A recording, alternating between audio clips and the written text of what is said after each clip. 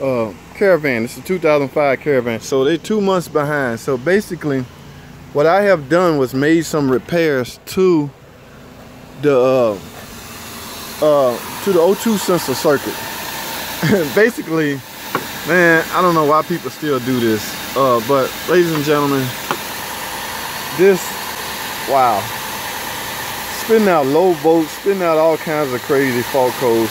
And my favorite is uh, when a customer tell me, I just had that replaced. It's not about how long ago you replaced it, it's about the quality of parts that you're using. And this, my friend, I, I'm not gonna dog any aftermarket parts out. Now, and I and I still say aftermarket parts are okay. If they willing to give you some type of warranty on this stuff, then that means they put some thinking behind their um, their when they built their parts.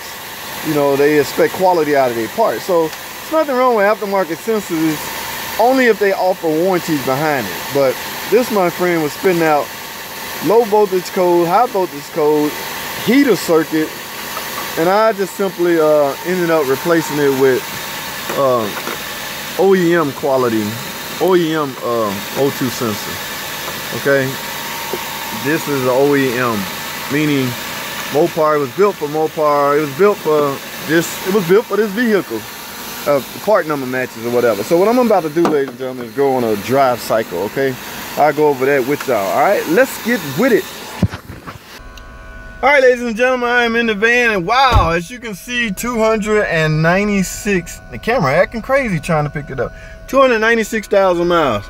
And I got the car pulled up on my scan too. Remember the DRB scan too I talked about? Let's go into OBD2 monitors.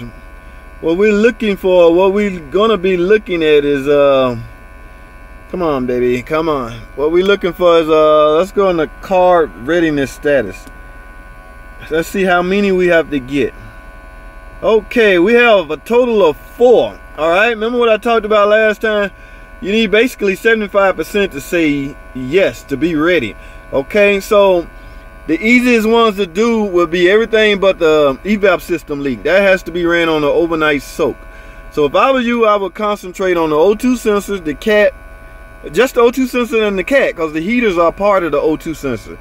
All right, so I can't film while I'm driving, so I'm gonna go drive this. And remember, ladies and gentlemen, what we're trying to do is get at least three of these to say yes. Now let me go over something real quick. Let's let's let's pick um let's pick the cat. Uh, I'm gonna show you some pre what it's looking for before it even start testing. This remember I told you man, it's all about parameters. Let's go in the cat pre-test and see exactly what it will be looking for so I can try to get in this range.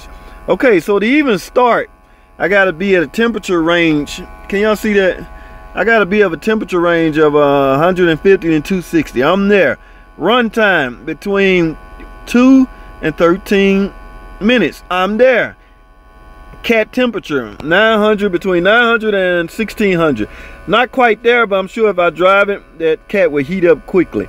Now, once those parameters are met, then you just look at this window. I see, I don't even know if y'all using scan to, but basically let the car warm up then go drive it and as you can see the range rpm range they want you at is between 20 and 55 rpm i mean a uh, vehicle speed and rpm of course they want you at a certain range so it's all about parameters all right i'm gonna try to get in these parameters because remember my goal is to make at least three of these say yes all right and actually my I, since I had the car running, this was an overnight soak. My wow, my leak detection has already ran. I started this thing up right after I screwed the O2 sensor in outside.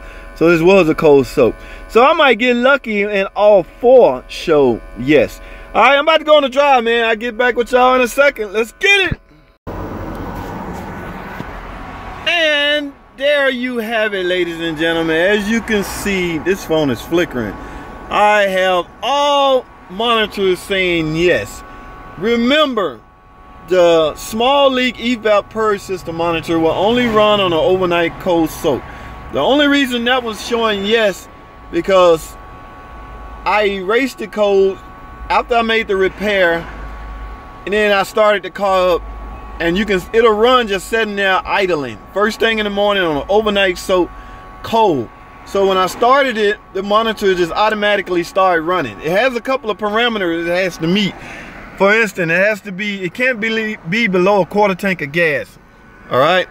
So all these monitors are yes this car is now ready for emissions all right so that's all I have man thanks for watching comment subscribe and I'll see y'all on the next video.